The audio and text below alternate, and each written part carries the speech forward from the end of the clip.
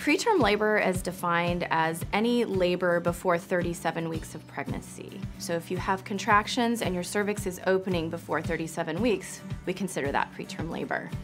So when preterm labor starts and then ends up with a preterm delivery, those babies aren't um, able to go home with mom. We worry about things like their ability to breathe well, their ability to eat well and grow. So we want to avoid preterm labor and the eventual preterm delivery when possible. If you've had a preterm birth in the past, that does increase your risk for preterm labor the next time. But really anyone could have preterm labor in any pregnancy. And so when you are pregnant and you come in to see us, we're happy to discuss all those risks and see if you yourself are at increased risk for preterm labor. So that we can try to maximize your chances this pregnancy of taking your next pregnancy to term.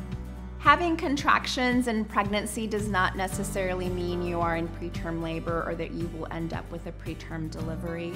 We are concerned when you have more than four to six contractions in an hour or if you have rhythmic back pain accompanied by vaginal bleeding or leakage of fluid. Outside of those symptoms, preterm contractions can sometimes be present because of dehydration. Sometimes it can be a full bladder, and sometimes it can be fatigue. So if you are experiencing preterm contractions, some of the things that you can do to help would be drink plenty of fluids and make sure that you are staying hydrated. Try emptying your bladder and really resting and staying off your feet for a little while over the period of time that you're having those discomforts.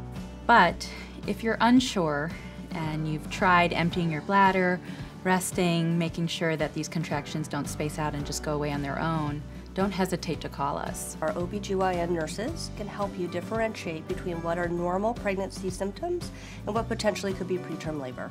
If you are experiencing preterm labor, we would want you to be in the hospital. We can do a couple of things to try to help. First of all, we can give you an injection of medication that can help the baby's lungs mature and give them a better start if they are born early. We can also give you medications to help stop your contractions and prevent the labor from progressing. And hopefully prolong the time that the baby can stay inside and grow.